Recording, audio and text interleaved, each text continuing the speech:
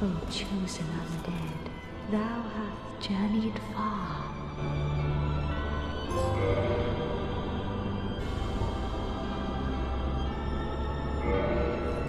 Thank you.